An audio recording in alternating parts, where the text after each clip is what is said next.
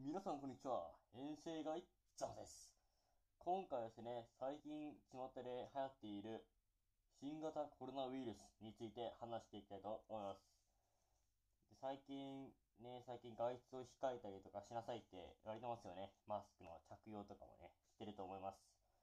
そこでですね、私が思ったのは、結構外に出てもマスクつけずに、それも外出してる人がいっぱいいますよね。